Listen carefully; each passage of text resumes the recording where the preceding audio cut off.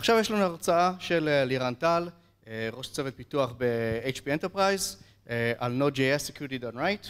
לירן משתתף הרבה בחבילות אופן סורס, מין IO, נכון? מין JS, תורם לכל מיני חבילות open source נוספים, JavaScript ים וכולי. אפשר למצוא אותו הרבה ב GitHub, זה כבר ראיתי, תורם ברדיוס, על פיתוח נכון ב-Node.js. אהלן, שומעים? טוב. מקווה שאתם לא רדומים מדי. סבבה. אוקיי, אז שמי לירן, באתי לדבר איתכם קצת על Node.js ואיך כותבים את זה נכון מנקודת המבט של מפתחים, ואיך אפשר ככה להעלות את המודעות לזה באופן כללי ולהראות שזה לא כל כך רחוק מאיתנו. אז באמת קצת עליי, אני עובד ב-HPE, Hewlett Packard Enterprise, מוביל צוות פיתוח, אנחנו עושים הרבה Node.js, JavaScript, Angular, כל ה-Mainstack, Java, Mongo, המון המון טכנולוגיות מעניינות, ואחד הדברים שאנחנו צריכים להתמודד איתם זה לא מעט שינויים שקורים בעצם בעולם הזה, אם זה אומר הרבה packages חדשים, הרבה libraries שמתחלפים, ומן הסתם שהרבה טכנולוגיות כל הזמן נפרצות ונפרצות וצריך לדעת להיות בעצם עמיד לכל הדברים האלה. המוצר שלנו, לעומת הרבה מוצרים אחרים שאולי חושבים עליהם ב-HP, הוא Web Facing, זאת אומרת, הוא פאבליק לחלוטין, ואם אנחנו עושים שם איזושהי טעות, אז זה יכול לעלות ביוקר. אז קצת עליי, כשאני לא בעבודה, או רוב הזמן כשאני בבית, אני מתעסק הרבה בקוד פתוח, כלומר, הרבה התממשקות לכל מיני פרויקטים בקוד פתוח, אם זה JavaScript, דברים אחרים שלא בכך קשורים לאבטחת מידע, אבל עצם העניין שאנחנו צריכים להיות מודעים בכלל לזה שצריך להיות אבטחת מידע גם בפרויקטים קוד פתוח, זה משהו שהוא מאוד חשוב, ואני רוצה לדבר איתכם על זה קצת היום. אז מבחינת מה שנעשה היום, אנחנו נדבר קצת על Node.js ולמה זה חשוב להכיר את העולם הזה, עולם של JavaScript. נדבר קצת על מקרים שקרו בתעשייה, חלקם בטח יהיו מוכרים לכם, חלקם שמעתם, דברים שבעצם קורים בכלל באקוסיסטם הזה של JavaScript, וספציפית Node.js, ואחרי זה נצלול בעצם לעיקר העניין, שזה לדבר בעצם על כמה מתכונים, טיפים שאפשר לקחת אותם ולהטמיע אותם בפרויקטים שלכם, כמעט כנראה בלי הרבה יותר מדי מאמץ, וגם אתם כמפתחים יכולים בקלות יחסית גבוהה, לבוא ובעצם להבטח את המערכת שלכם. אז בואו נתחיל לדבר על הביג בנג של JavaScript. נכון, JavaScript היום נמצא בכל מקום, והרבה מזה התחיל ב-2009, כשריין דל, בחור שכתב בעצם את המנוע של Node.js, מנוע שמבוסס על ה-V8 engine של גוגל, cross platform, open source, איזשהו runtime environment שאפשר ללכת ולפתח, והוא הביא בעצם את כל עולם ה-JavaScript ל server, מה שגורם לנו עוד יותר לדאוג לאבטחת מידע. והוא עשה את זה כמו הרבה דברים שמתחילים בקוד פתוח, עקב צורך. הוא ראה איכשהו איזה file progress, upload progress bar עובד, והוא רצה לבוא ולייעל את זה ולראות איך אפשר לתקשר עם השרת, לעשות איזה real time progress bar וכולי, ומשם הוא הלך ויצר את Node.js, שזה מרתק בפני עצמו. וכמה שנים יותר מאוחר, בעצם התקדמנו לעולם שבו כבר יש release ראשון של Node.js, ויש משהו שנקרא NPM, שזה ה-Package Management, ובעצם נוצר איזשהו adoption מאוד מאוד גבוה בעולם, חברות ידועות, שזה יצר איזשהו הייפ בהתחלה, ואנשים התחילו לאמץ את זה יותר ויותר. ועיקר הדבר שצריך להבין, ש-Node.js הוא JavaScript בסופו של דבר. אוקיי? ו-JavaScript היום באמת נמצא בכל מקום, אם זה ב-front-end וב-back-end. אם ראינו קודם הרצאה על Hardware ו-Internet of Things, אז יש JavaScript Library שנקרא Johnny 5, שנועד להתחבר ל-Arduino boards. אז זה בעצם נמצא באמת באמת היום בכל מקום, וזה אחת הסיבות שאנחנו צריכים להיות הרבה יותר מודעים לענייני ה-Security, ודברים שאנחנו תכף נזכור. אז בכלל, למה זה כל כך חשוב, ואפילו עוד טיפה לגבות את עולם ה-JavaScript. אם נסתכל על GitHub, שזה המקום שרוב המפתחים נמצאים בו, רוב המפתחים שנמצאים ב-open source, אז יש איזשהו סרוויס שנעשה, ואפשר לראות ש-JavaScript מוביל שם באופן די ברור את הפלטפורמות. אוקיי? JavaScript, Angular מן הסתם, אבל באופן מאוד מאוד ברור, ולא רק את זה, הוא באופן כללי מוביל את כל ה-open source project, זאת אומרת, אם הולכים וסוקרים כמה פרויקטים בגיטה מבוססים JavaScript, אז זה רוב הפרויקטים. המון המון קוד פתוח, קוד שארגונים מאמצים, פשוט חי בעולם ה-JavaScript. אז כמה סיפורים ככה מהתעשייה.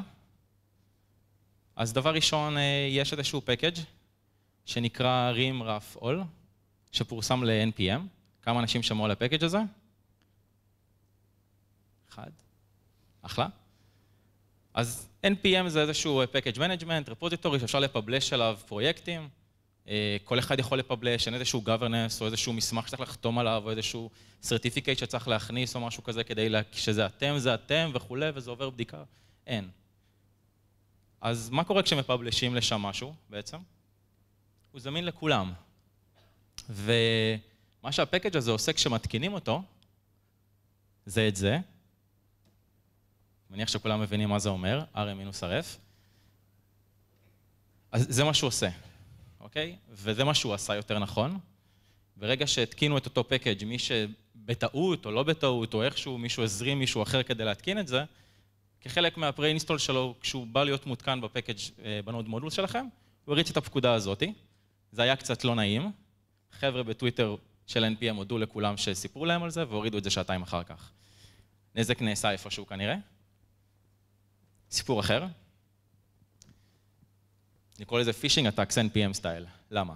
יש איזשהו package נחמד שנקרא Validator.js, נזכור אותו אחר כך בהמשך ללמה הוא שימושי לנו בתור מפתחים. מאוד מאוד פופולרי. אם אני הולך ומחפש, אני עכשיו מישהו שרוצה לעשות due diligence על ה-package הזה, להוסיף אותו כדי שאני יכול לעשות ולידציות על inputים וכולי, הולך לגיטאב, רואה שיש לו 5,000 סטארים, נשמע סבבה, מעודכן, מצ'ור, בשל, בואו נשתמש. נכון נקרא Validator.js. מה הדבר הבא שעושים? הולכים לקונסול, npm install, validator.js, save לפקאג' JSON ומקבלים פקאג' אחר. כי ב-npm הוא נקרא validator. אוקיי. אז על מה אנחנו מדברים כאן? על זה שאפשר בעצם לפבלש כל פקאג' ובצורה כזאת מספיק שהיוזר טעה בהתכוון, לא בהתכוון, איכשהו הולכנו אותו שולל לבוא ולהתקין משהו שדומה, אנחנו בעצם יכולים להתקין משהו, הוא יכול להתקין משהו שהוא לא התכוון אליו. דוגמאות שעשיתי לפני ההרצאה כדי להוציא את המספרים מ-NPM, על סוקט IO, 3.5 מיליון הורדות, ולסוקט IO, בלי נקודה, יש 2,000. עכשיו, אני לא אומר שסוקט IO בלי נקודה הוא בעייתי ויש בו באגים, לא יכול להיות שזה גם איזשהו פקאג' ישן וכולי, אבל אנשים מורידים את זה מאיזושהי סיבה, יכול להיות שבסדר, וכאן העניין של המודעות שלנו לבוא ולעשות איזשהו due diligence ולהבין מה אנחנו מתקינים, כי מספיק שאנחנו מתקינים משהו לא נכון עם איזה נקודה ושגיאת כתיב, יכול לגרום בעצם להמון המון בעיות. עוד דוגמה, Uglify.js ו-Uglify.js בלי מקף. אוקיי, ובעיה האחרונה שאני רוצה לשתף אתכם בסיפור קטן שנתקלתי בו. אה, גלשתי באינטרנט, התחלתי לקרוא קצת מאמרים, אה, וגיליתי שאנחנו לא מחנכים את הדור ההמשך כמו שצריך. כתבה מסייט פוינט, אמיתית. התחלתי לקרוא אותה כי זה היה קצת Node.js, ואיך בונים איזשהו Wi-Fi דשבורד, עניינים, נשמע מעניין, באמת לגמרי. אה, והתחלתי לקרוא ולקרוא ולקרוא. באמת בלי שום עניין של לבוא ולחקור אותה מבחינת security. ואז אני רואה איזשהו קטע כזה של קוד, שנמצא בתוך האתר.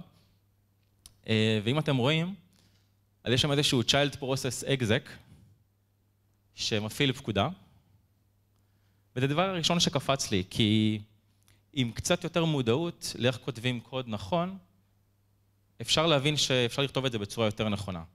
exec file וכולי, לא מעבירים את כל הפקודה, את כל השורת פקודה כפרמטר אחד, אז ברור שמי שכתב את הטוטוריאל הזה לא התכוון, ואולי לא חשב על זה יותר מדי, אבל אנחנו בעולם הדב, וזה הכובע שאני חובש כאן רגע כ-Developer ולא כ-Security Researcher, בעצם להיות קצת יותר מודעים לעובדה שאנשים כן עושים copy-paste וכן לומדים מדוגמאות באינטרנט, אחר כך מיישמים אותם. ואז באים בעצם כל ה-security researchers, שזה רוב הקהל אני מניח, ואומרים, אה, ah, אז את זה לא ככה. יש דרך יותר טובה לעשות את זה. אז אנחנו כמפתחים צריכים לדעת לחנך נכון, ולהיות מודעים לאיך אנחנו כותבים קוד, ובטח שאנחנו כותבים על זה אחר כך ארטיקלס אחרי זה באינטרנט, לבוא ולהעלות את המודעות הזאת. אז קצת לרוב העניין שלשמו התכנסנו. אה, לדבר קצת על טיפים של איך אפשר בעצם להכניס בקלות אה, שכבות של אבטחת מידע באפליקציה, ותכף נעבור עליהם אחד-אחד.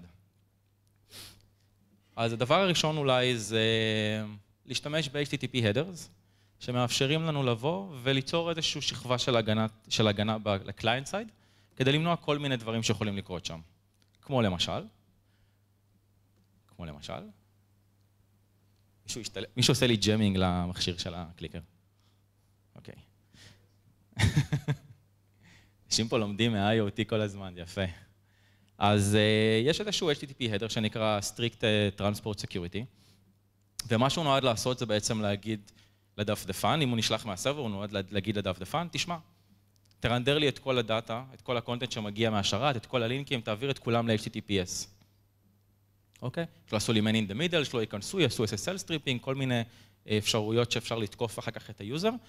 בוא תנסה להגן עליהם. אז איזשהו header שאפשר לבוא ולהכניס אותו, בעצם ל-Node.js, ל-Web שלנו, אם זה Express או אחד אחר, ולהכניס אה, שכבת אבטחה.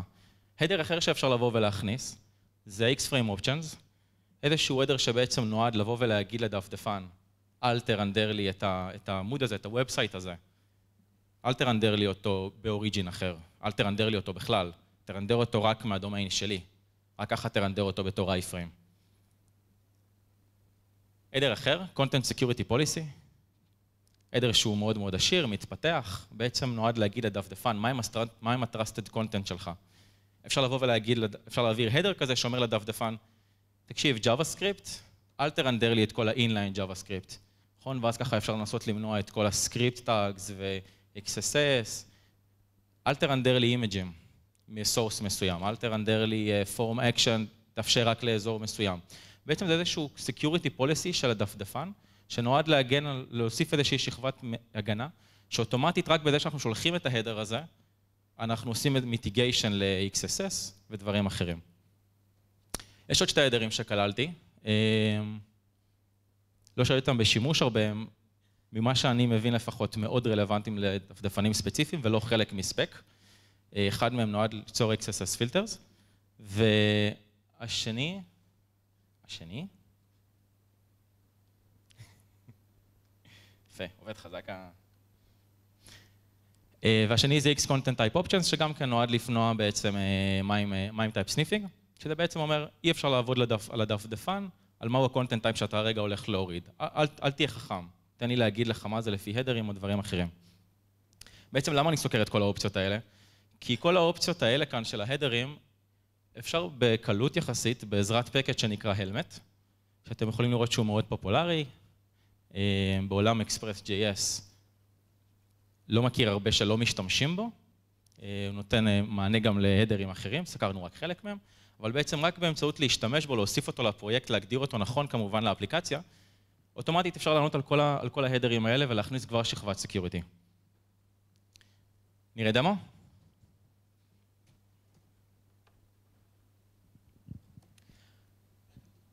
אוקיי, אז אם אנחנו מסתכלים על הקטע קוד שיש כאן, נסתכל איתכם ביחד, אנחנו רואים שאנחנו עושים איזושהי אנליזציה לאקספרס אפ. ואנחנו משתמשים במידלוור. כל ה-app.use הם בעצם מידלוורים של Node.js שאני יכול להשתמש בהם ולעבור על ה-request ולפרסס אותו, לעשות איתו כל מיני דברים. אז למעלה אני אומר, אני אומר לאקספרס, אוקיי, תשתמש במידלוור של ה-security, של ה-secure transport policy, נגדיר לו איזשהו max age, מגדיר שם include sub domains, אם אני מאפשר או לא, ויכול להמשיך הלאה. עכשיו, כל העניין הוא שזה מודולרי, זאת אומרת, אם גילינו שאנחנו צריכים כן לאפשר X פריים או דברים אחרים אה, להתרנדר באפליקציה, אז אין בעיה, זה לא הכל או לא כלום. אפשר לבוא ולהגדיר את זה איך שרוצים. כמובן שיש הגדרות שהן קצת יותר אה, מורכבות, ה-CSP למשל, צריך להבין מה אנחנו עושים. השיקול דעת כאן הוא לגמרי לבוא ולהבין מה האפליקציה עושה. לדוגמה, אם ה-application code שלנו רשום בצורה כזאת שחייב inline JavaScript, שיש tags, אה, בתוך, בתוך העמוד ה-HTML, אז ברור שאם אני אגיד פה אה, ב-script source self או משהו אחר, או לא inline source, אני אשבור את האפליקציה. הדפדפן פשוט לא ירנדר לי את אותו JavaScript והאפליקציה תישבר. אז אין ספק שצריך להבין מה עושים, אבל זו הקלות שבה אפשר להכניס שכבה אחת לפחות של מגננה לאפליקציה לפרויקטים ב-Node.js.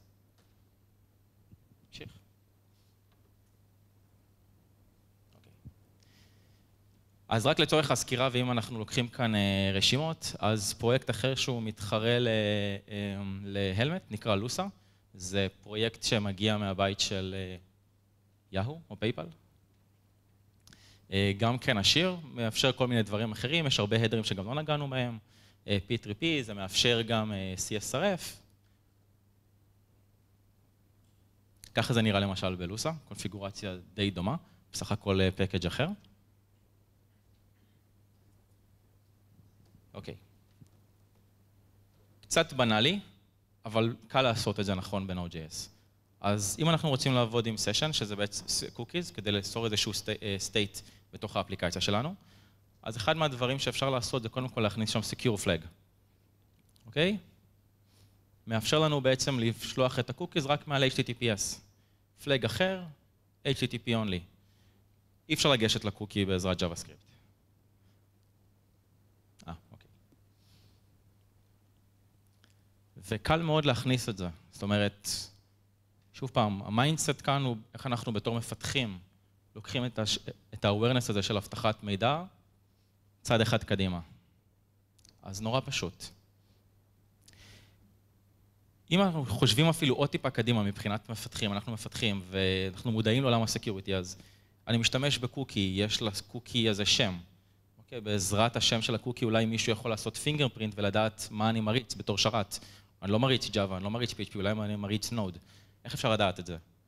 אם אני מסתכל על הקוקי, אז אני רואה שאני שולח Connect SID, שזה ה-default cookie name ל-session ב-Express, לכן מומלץ לשנות אותו. Okay. אוקיי? מאוד פשוט.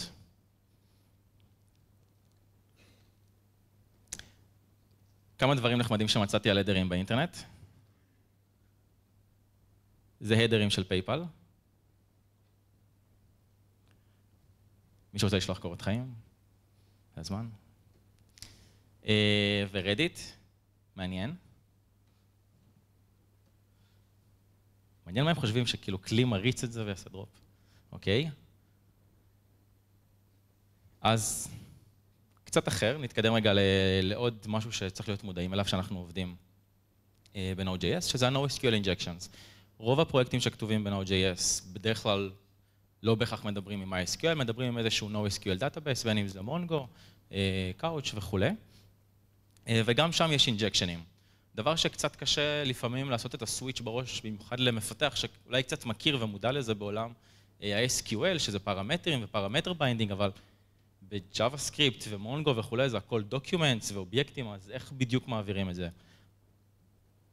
אז אם אנחנו מפתחים, אנחנו מכירים את הדוגמה הקלאסית, אנחנו עושים סלקט, כוכבית וכולי, דואגים להעביר בפרמטר שאחר כך הולך ל-database אה, איזשהו אה, משהו אולי שסוגר, אה, יוצרים איזשהו true statement, מתעלמים מההמשך, והדוגמה הקלאסית ל-SQL injection. ואז כשאתה מסתכל על קוד של MongoDB או בכלל של JavaScript, של Node, לא בהכרח נופל האסימון מהר, נכון? מה יכול להיות כאן לא טוב? בסך הכל מקבלים אובייקט, מחפשים אובייקטים. אין כאן מה לסגור בדיוק, אין כאן איזשהו parameter binding שצריך לעשות. אוקיי, אז אחד הדברים שחשוב להבין ב-Express, זה שב-Express אנחנו לא משתמשים, לא קוראים את ה-body של ה-request, אנחנו משתמשים בהרבה מאוד מידלוורים ומודולים אחר כך כדי להבין מה הולך שם בפנים. אחד מהם זה משהו שנקרא body parser, שמאפשר לנו בעצם לקרוא את ה-body של ה-payload שנשלח אלינו ב-request. דוגמה קלאסית להרבה מאוד פרויקטים של Node.js שאתם תראו. body parser.json, לוקח את, את מה ששולחים לו ב-body, מפרסר את זה לאובייקט. אם ה-content type הוא, הוא מסוג JSON, הוא הולך, מפרסר את זה, ויוצר מזה אובייקט ב-request body. אותו דבר עם URL encoded, אם זה נשלח כ-form כזה של HTML, XWWW, form, URL encoded וכולי, כל ה-content type הזה, הולך, מפרסר את זה ויוצר אובייקט ב-request body. אוקיי? בואו נעבור לאיזה דמו חי. טוב, נראה לי ישנים עדיין.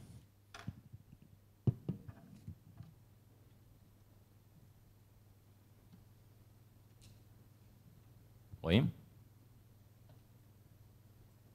ישנים? את מה? טוב? אוקיי, בואו נעשה רגע איזה walkthrough. שומעים אותי? יש... אה,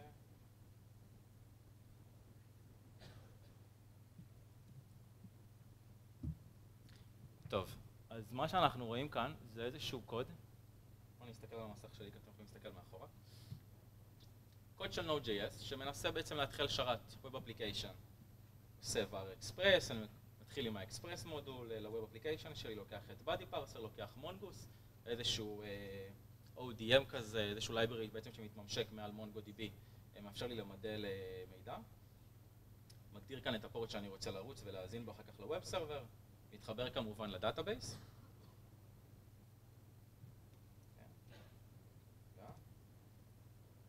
בעצם עושה initializ-ציה ליוזר מודל שלי, שזה איזשהו מודל שבו אני רוצה לרשום את היוזרים ואת ה-password שלהם כדי שהם יוכלו להתחבר למערכת.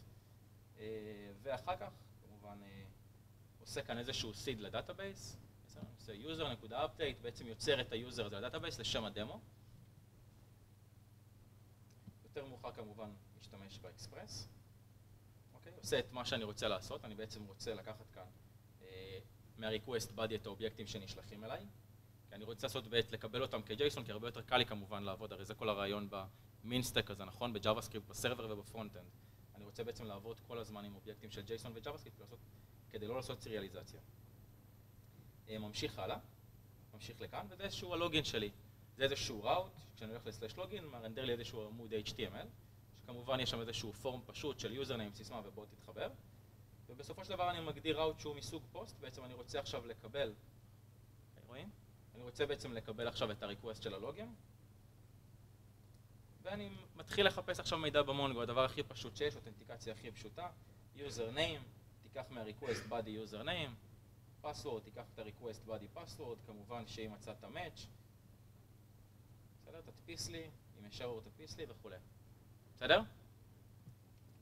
בינתיים straight forward.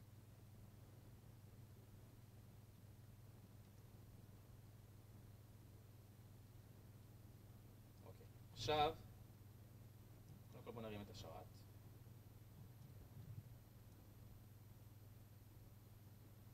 אחלה. שרת שרת רץ.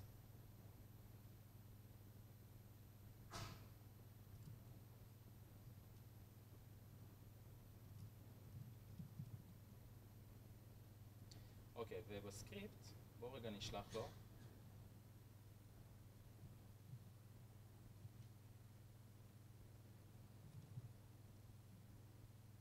עשיתי אותנטיקציה, רואים?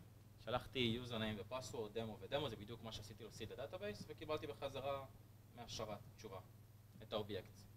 יש אפילו את ה-Mongo ID. עד כאן אנחנו ב-straight forward.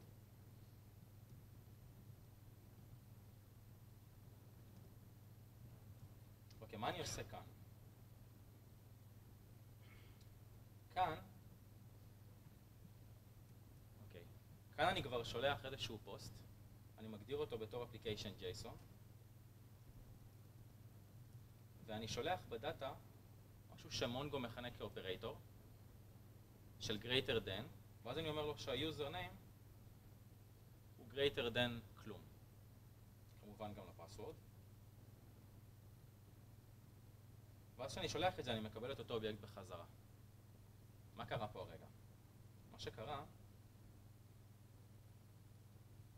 כאן עשינו בעצם bypass, בגלל שאנחנו משתמשים ב-request body username, בעצם זה כמו שהיינו עושים אותו דבר כזה. אוקיי? זה בעצם מה שעשינו. כי ה-request body name, body username הוא כבר אובייקט שפרססנו.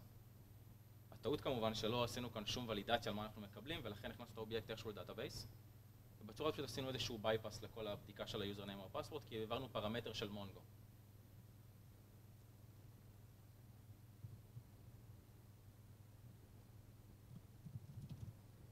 אוקיי.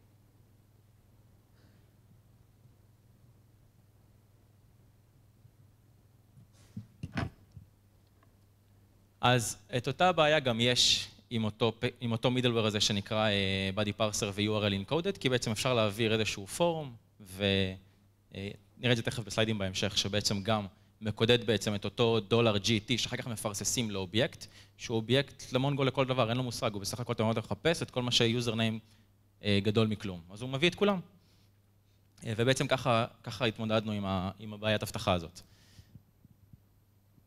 לדוגמה. אוקיי, אז מה אנחנו צריכים ללמוד מה שאנחנו עושים כאן? דבר ראשון זה validate input. אנחנו מקבלים מידע, אוקיי, אז אותו, אה, אותה גישה, straight forward-ית, כמו בכל שאר האפליקציות שאנחנו מפתחים, validate input. בוא תוודא שה-length וה-type אותו דבר. אה, בוא תעשה סניטיזציה על ה-input. יש, יש כן ODM-ים קצת יותר מורכבים ל-Node.js מה-mongoose, שיודעים לעבוד עם parameter binding.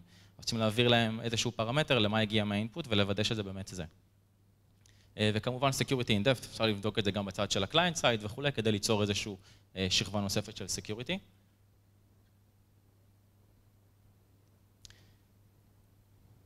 נתקדם? רידוס, בעיה אחרת. Regular Expression DOS Attacks, אוקיי?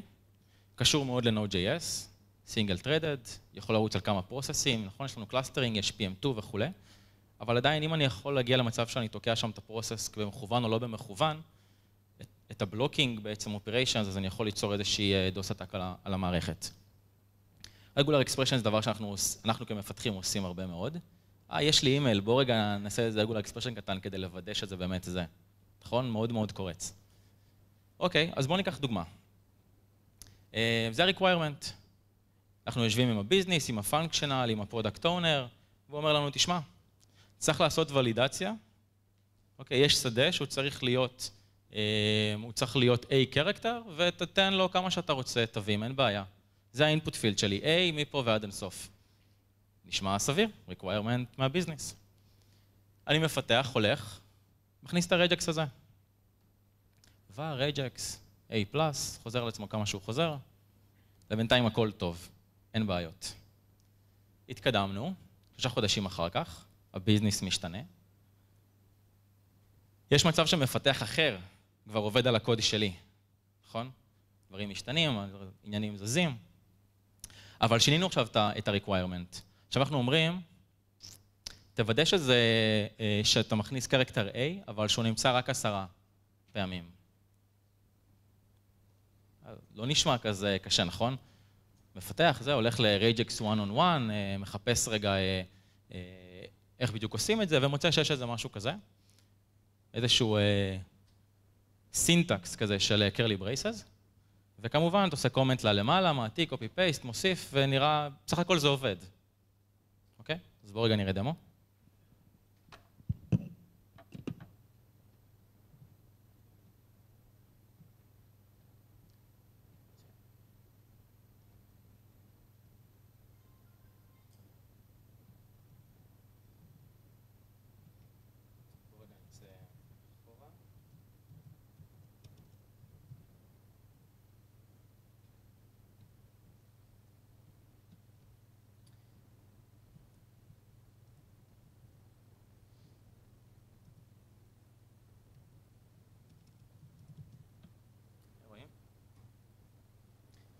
בסך הכל הרצתי,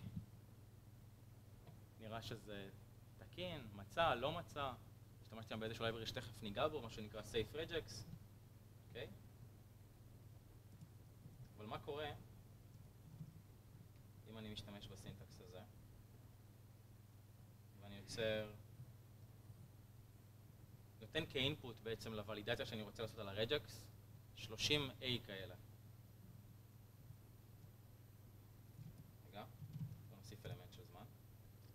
רץ, נראה שיחסית מהיר, בערך, אם אפשר לקרוא לזה מהיר. בואו נשלח קצת יותר אינפוט, מה יקרה? רץ, אוקיי? זה עובד. זה מנסה לעשות אבליואציה לרגולר אקספרשן, זה לקח קצת יותר זמן. אוקיי? ככל שאני אעלה יותר את הקרקטרס שאני אשלח,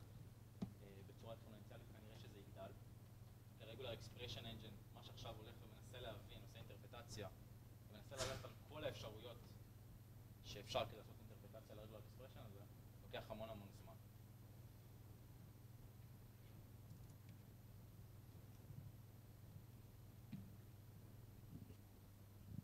אוקיי? אז בעצם מה שאנחנו מנסים להבין כאן זה שגם Regular Expression צריך להבין איך לעשות אותו, או אגב, אפשר גם לא לעשות אותו ולתת ללייברי אחר לעשות אותו בשבילנו, זה כנראה עדיף. אוקיי, ולא ישר לרוץ וליצור רגולר אקספרשן, כי אם אנחנו לא מודעים לאיך המנוע עובד ואיזושהי מתמטיקה שקורית שם מאחורי הקלעים כדי להבין איך לעשות איוולואציה, אז אפשר להגיע לכל מיני דדלוקים כאלה. ב regular expression מאוד מאוד פשוט, כמו שראינו. וכן, זה מה שקורה לשרת שהוא מנסה לעשות את האינטרפרטציה. הולכים אחורה בזמן. טוב. דוגמה אמיתית, בסדר? יש איזשהו library שנקרא Negotiator, לא קשור לעולם ה security, מה שהוא אמור לעשות זה לפרסר את ה-accept language header ולהבין באיזה עולם אתה נמצא, מבחינת שפה. רק, זה דוגמה שלו, אוקיי? in action, כחלק מה-middleware של האקספרס. עכשיו אתה אומר לעצמך, תשמע, עשר מיליון הורדות, מה לא נשתמש? נכון? מה, נכתוב את זה עכשיו מאפס? בכל מקרה, ברור שעשינו due diligence והכל, אבל uh, אז פתאום יוצא איזה vulnerability בדיוק על זה. אוקיי? זה לא מזמן. אחר כך נדבר קצת על Snyk.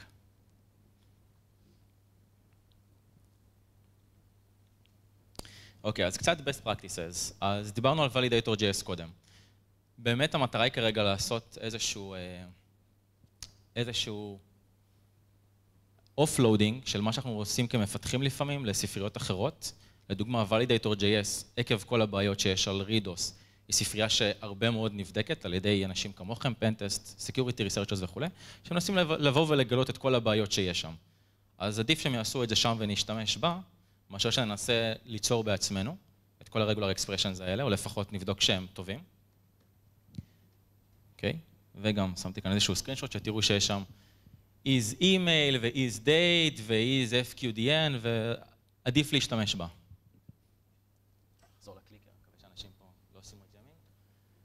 אה, דרך נוספת זה להשתמש ב safe regex, זה איזשהו מודול שאתה יכול להגדיר לו איזשהו complexity של ה regular expression, כי גם עם זה יש בעיה. אוקיי, או אם הוא יודע לזהות שה regular expression שכתוב הוא לא כתוב נכון. אה, ואם כבר עושים משהו לבד, ש regular expression לבד, שלא מצאתם שום תחליף אליו, אז אולי עדיף להשתמש באיזשהו helper library כזה, שרק יכול לרוץ על זה ולהגיד לכם, אוקיי, true or false, כאילו, יש כאן בעיה או שאין כאן בעיה עם ה regular expression, ולהמשיך הלאה. זו דוגמה לרג'קס. אה, בנוסף, יש את OWASP Validation Regex Repository, אם אנחנו כבר בכנס הרלוונטי, אז יש ספרייה שנועדה בעצם לעזור לנו בדיוק עם, הפר... עם הדברים האלה.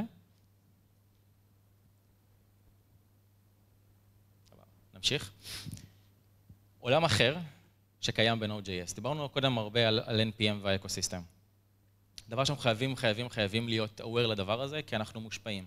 אין פרויקט של Node.js משמעותי שלא קיים עם dependencies. בסדר? זה קוד פתוח, זה sharing, זה libraries, כולנו כותבים אותם, כולנו תורמים ומשתמשים באחרים. ולכן חייב להיות מודע למה שאתה מכניס אליך לבית.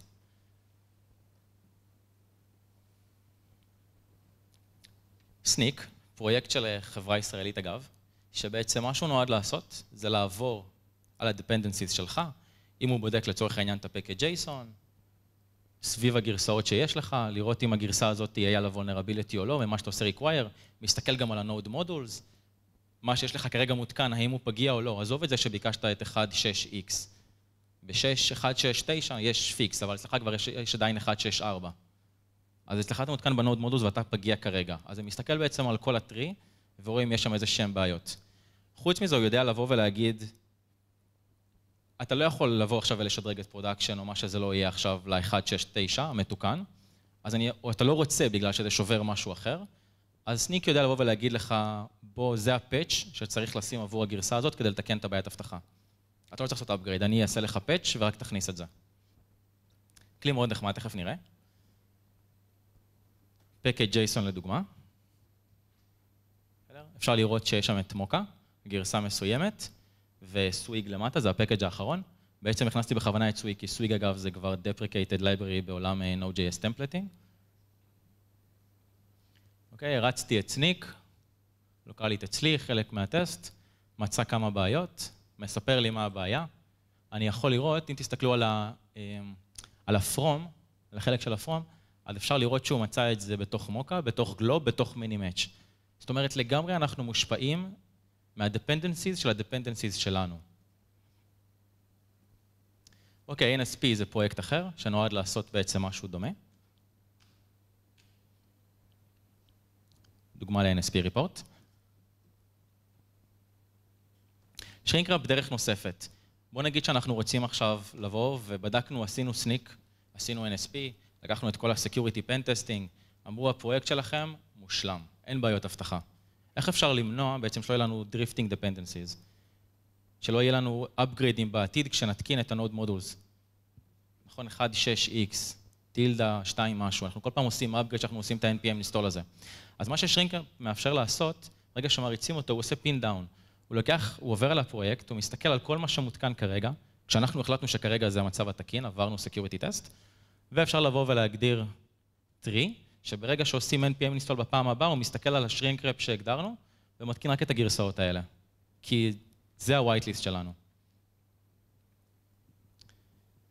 אז זה היה קצת על Security Ops ואיך להכניס את זה בעצם כחלק מה, מה-build process. אפשר לקחת את Sneak, אפשר לקחת את NSP, פרויקטים אחרים בעצם, להטמיע אותם בתוך ה-CICD, בתוך ה-DevOps שלנו, ובעצם לראות אם יש איזה שהם בעיות. דבר נוסף שאפשר לדבר עליו, Security as a Service בכלל בעולם Node, שעכשיו מתפתח מאוד, לראות שה-dependencies שלנו הם לא מתרחקים בעצם ממשהו שהוא כבר לא מעודכן. אז יש כמה פרויקטים שעושים את זה, WDM זה אחד מהם. דוגמה. אפשר לראות שיש dependencies, ובצד האדום, 9 out of date. לא בהכרח insecure, אבל out of date. דוגמה אחרת היא bitHound, גם כן פרויקט שיחסית כבר נהיה מאוד פופולרי. אותו רעיון, הם רק מאפשרים שם מעל WDM אה, לעשות linting ו static code analysis וכולי. אפשר לראות למעלה למשל את ה-dependencies analysis ואת מוקה שהוא אה, out of date, אפשר לראות גם אה, insecure ועוד כל מיני דברים אחרים. ואם אני רגע רוצה לסכם את זה, ואולי נעשה רגע איזה משהו נחמד חוץ מזה, אבל כמה דברים שתיקחו איתכם הלאה. בסדר? כמפתחי Node.js. אז הלמט, בסדר? הלמט או לוסה. אפשר להכניס קצת הדרים בעצם ל-HTTP וליצור איזושהי מיטיגציה לכל ההתקפות. cookies, op secure the session name, תוסיף את ה-secure flags וכולי. חוץ מזה, כל מה שאמרנו על ה-NoSQL injections, מספיק שהייתי עושה string casting על ה-request body username והייתי לגמרי עושה מיטיגציה על הבעיה שראינו קודם. בסדר? כי לא רוצה לעבוד עם, עם אובייקט, אני רוצה לעבוד עם string ולוודא שזה מה שקיבלתי. אה, בנוסף, validator ל regex ים, להימנע מ ReDoS, Snyk ו-WDM או bitHound. אז שנייה לפני שאני אסיים, אבי, יש לנו נכון?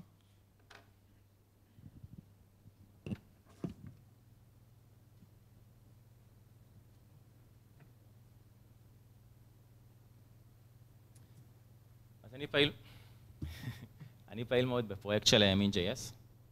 אה, זה פרויקט MEAN stack וכולי, נותן איזשהו full full JavaScript Framework, לבנות אפליקציות. אה, אז זה מה שאני עושה ככה בשעות הפנאי. אחד הדברים שהכנסתי, אני יודע שיש לנו שם בעיות כרגע של dependencies, אבל הנה, הכנסתי כאן Snyk Support כחלק מה-CICD. אחת הסיבות שלא עשיתי לזה merge זה כי זה כרגע שובר לנו את ה build. אבל בואו תראו עד כמה זה פשוט. כדי להכניס את הדבר הזה למוצרים, הרבה יותר קל למוצרי open source, כי הכל שם כבר בפתרונות אה, אה, ב cloud. מה שעשיתי, מה שעשיתי, זה אמרתי ל Travis שלי, שזה בעצם מה שעכשיו מריץ לי את ה-CICD בענן לפרויקט, בכל פעם שמישהו שולח לי pull request, בסופו של דבר פרויקט פתוח, אני רוצה לדעת שמי שתורם לי קוד אני עדיין לא נמצא באיזושהי בעיית אבטחה. אז אמרתי לו, תתקין לי את Snyk, אוקיי? ואז אמרתי לו, לפני שאתה בכלל מריץ את, את ה test script כדי לבדוק שה build עובר תקין, בוא תריץ לי Snyk test.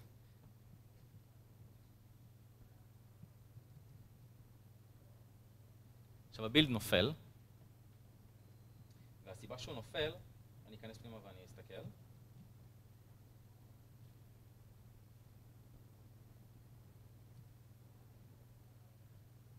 זה כי סניק מצא שם בעיות אבטחה.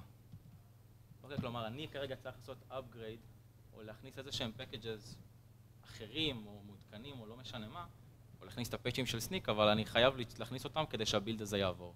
ובעצם בצורה הזאת כבר עשיתי איזושהי מיטיגציה ברמת ה-CICD וה-Security as a Service. אני אקח עוד דוגמה.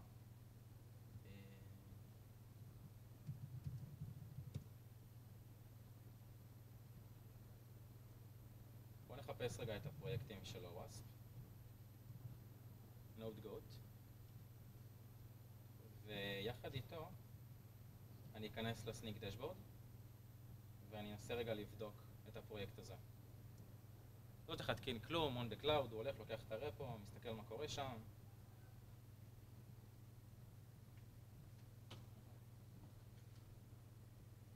אז אם מישהו בא לו לתרום איזשהו סניק ל-CICD של OWASP, מצאנו שם כמה בעיות. זהו, סיימנו.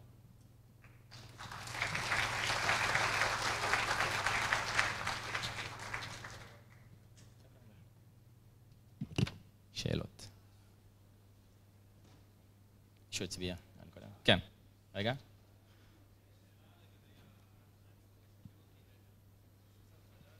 לגבי ה? אוקיי, HSTS.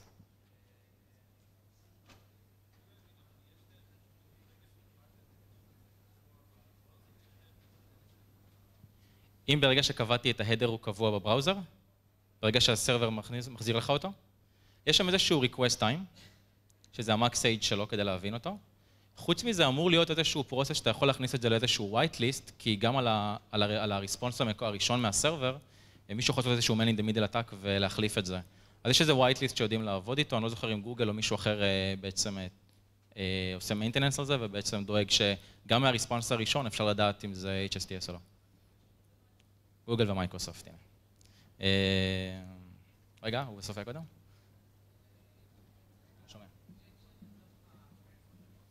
ה injection לתוך ה Mongo, אוקיי.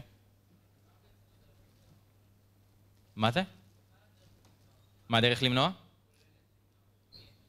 יש, יש, אני אראה. אה, יפה. אם הייתי עושה שם cast ל string, על ה-request body username, בעצם מה שהייתי מקבל ב username זה היה string, זה היה בדיוק המקף, דולר GT, והמונגו לא היה מוצא user כזה פשוט. זה דרך אחת ויש עוד אחרות. כן.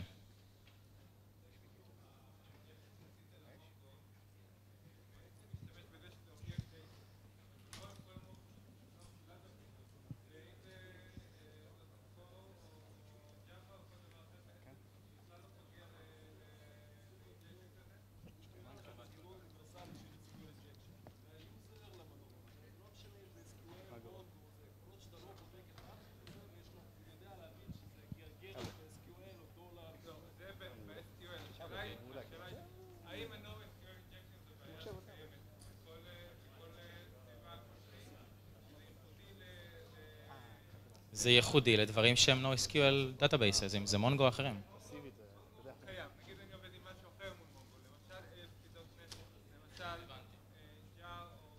אז זה מאוד תלוי. אם אתה